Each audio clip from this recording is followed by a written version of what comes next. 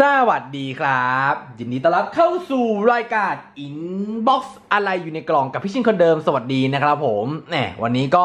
เป็นอีกคลิปหนึ่งครับที่ต้องมารีวิวแบบคนที่ได้รับความนิยมตลอดกาลอีกคนหนึ่งนะครับผม นั่นก็คือท่านเรนซามะนะครับ คนที่แบบ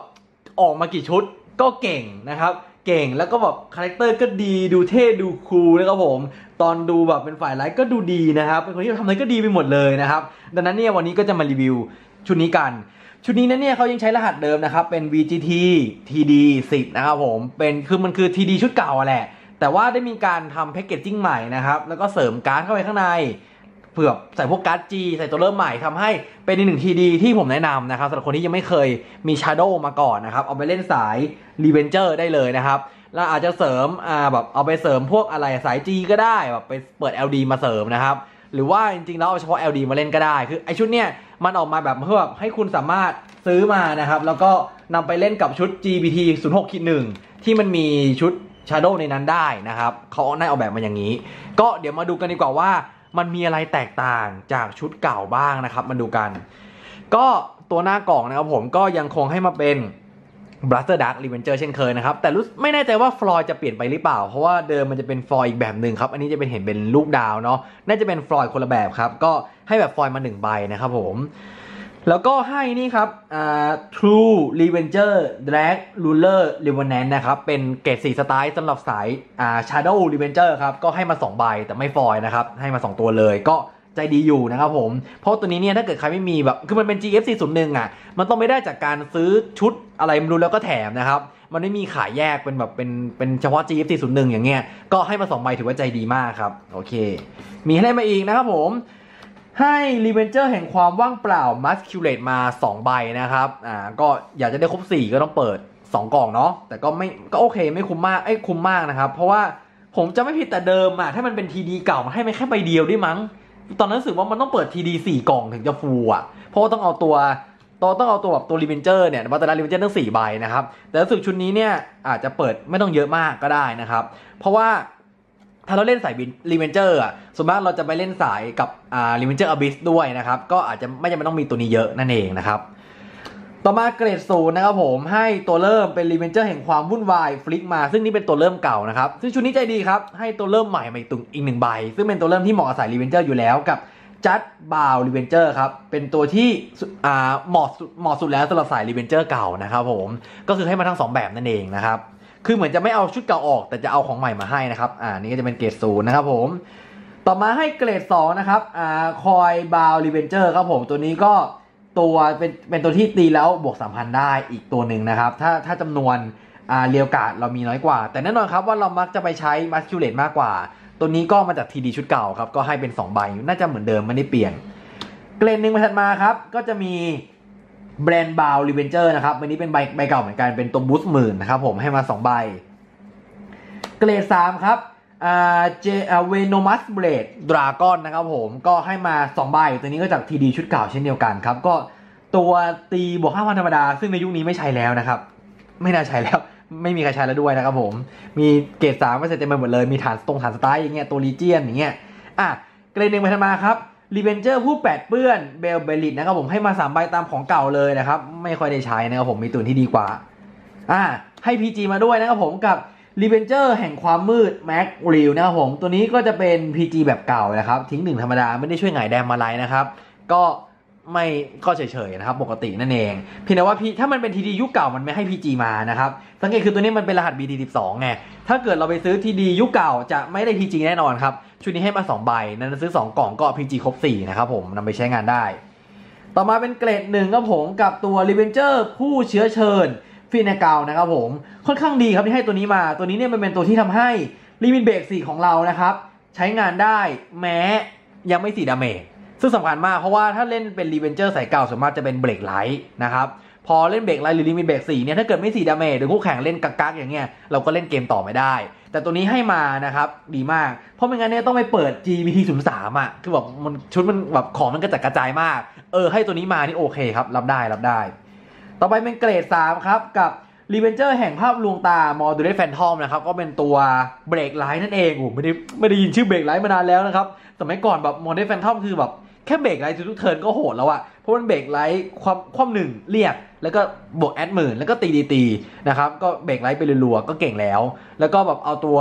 Dragruler break ride ทับอะก็โหดไปอีกนะครับยืนเป็น cross break ride อย่างเงี้ยเก่งมากเป็นหนึ่งตัวที่เคยเก่งกาจในอดีตครับ ทุกวันนี้ก็ยังเอามาเล่นได้อยู่นะครับผมเพราะเรามีตัว stride อ่า Dragruler มาเล่นด้วยนั่นเองนะครับผม ก็ให้มาสองใบใจดีมาก ปกติให้มาแค่ใบเดียวจาก TD ชุดก่อนนะครับผม โอเค ต่อมา ก็จะให้เกรดหนึ่งนะครับผมโอ้นี่ตัววานิลาไม่เห็นนั้นมากกับปราชญ์สีดำ Charon นะครับ ให้มาสี่ใบเลย เป็นเกรดหนึ่ง add แปดพันธรรมดาครับอุ้ยใบนี้ก็ให้มาด้วยอะเกรดหนึ่งนะครับผม Revenger กองกำลังป้องกัน Dorint นะครับผมให้มา 2 ใบเลยครับ จากชุดบีสิบสองสำคัญมากเพราะช่วยเรื่องของการหงายแดมนะครับผม เด็คนี้กินกิน counter blast มากให้ใบนี้มา 2 ใบใจดีครับใจดี แล้วก็ให้ตัวอ่าตัวนี้ก็จะเป็นนะครับเป็นตัววานิลาธรรมดา Revenger แห่งความมืด Rugos นะครับให้มา4ใบนะครับผมอ่าแล้วก็มินี่ครับตัว Blaster Dark Revenger แบบธรรมดานะครับผมนั้นสรุปว่าก็จะให้ Blaster Dark มา 2 ตัวนะครับ ซื้อ 2 กล่องครบ 4 เลยนะครับ ดีมากดีมากชอบชอบตัวถัดมาครับ Revenger Fortress Fatalita นะครับผม ตัวนี้ตัวอ่า Exception Intercept นะครับ ตัว Intercept แล้วบวก 5,000 ก็ไม่เห็นมีคนใช้ครับ ไม่ต้องใช้นะครับผมข้ามมันไป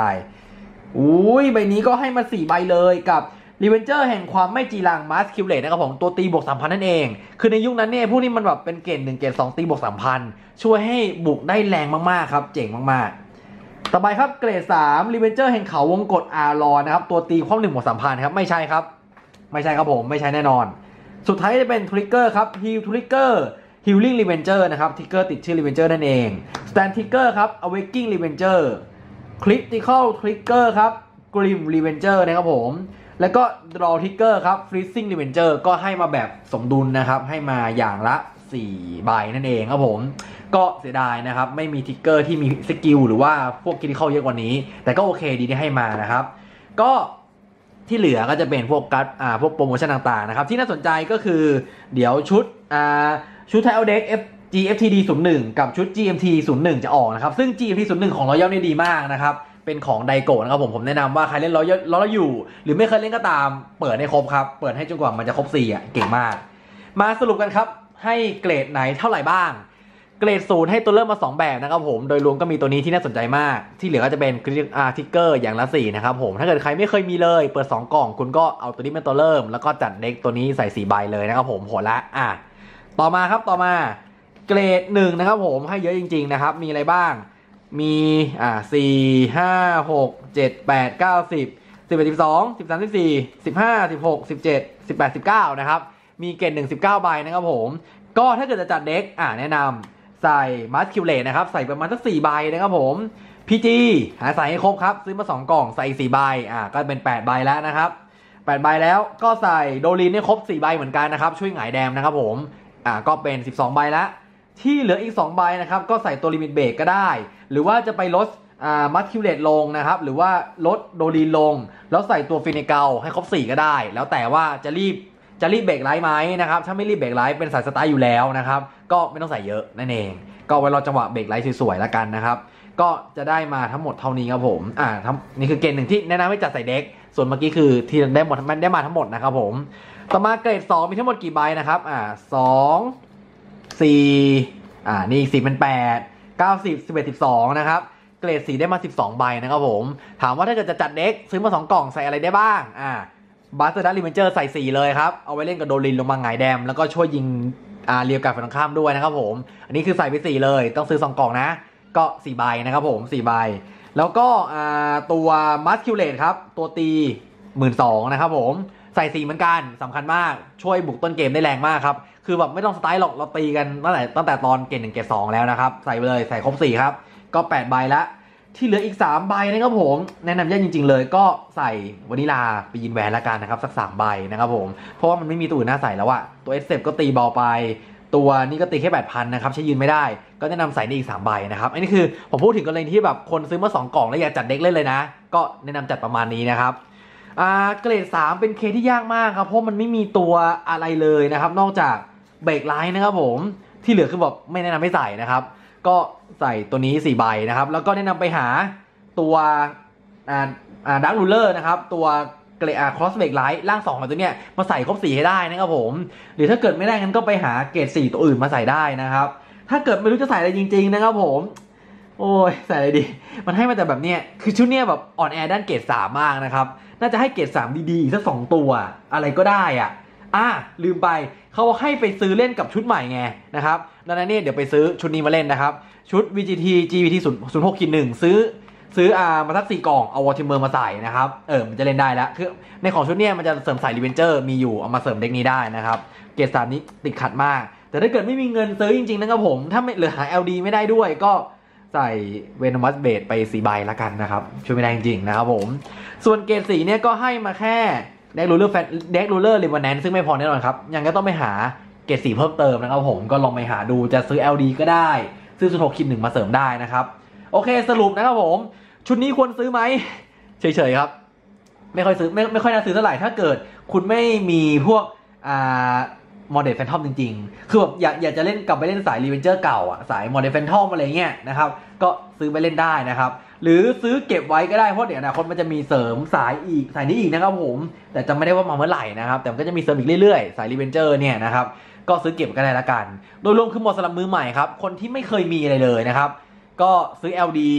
ซื้อไอ้นี่ ซื้อ BT 1 6คิดหนึ่งก็จะได้เด็ก Shadow ที่แบบเล่นได้ยาวๆสักเด็กหนึ่งนะครับเล่นได้สักพัก แต่ถ้าเกิดมีอยู่แล้วนะครับผมไม่ค่อยแนะนำนะครับ ก็ไปซื้อ GVD 0 6 4 กล่องดีกว่านะครับผม ทั้งหมดนี้ก็จะเป็นการรีวิว